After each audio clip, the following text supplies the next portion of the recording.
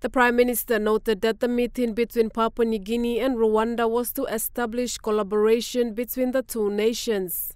He said Rwanda is a leading democracy and economy in Africa and Papua New Guinea looks forward to collaborating with them. We also looking to uh, sourcing uh, from them if possible uh, members of uh, uh, training and exchange with, in, with the security forces, their security force, our security forces and a couple, couple of department department exchanges can be happening. They're also big in coffee and tea uh, production. We equally have coffee and tea production and synergy in those spaces could be established. Prime Minister Marape also met with Singapore's Prime Minister Lawrence Wong.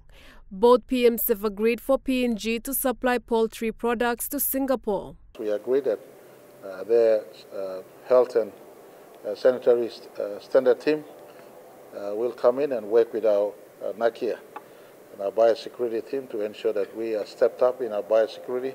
The entire production or growth, whether it's in, in uh, food growth or, or production in terms of other food. PM Marape said all 56 members of the Commonwealth attended the Samoa meeting. These 56 nations came together. There's a rejuvenation taking place in, in the Commonwealth family of nations knowing what's happening in terms of geopolitics, what's happening in uh, other parts of the uh, world where uh, peace is in high demand, in Eastern Europe, in Middle East, and elsewhere. He said the election of the new Secretary General of Commonwealth was successful. Malinta Yopolo, National EMTV News.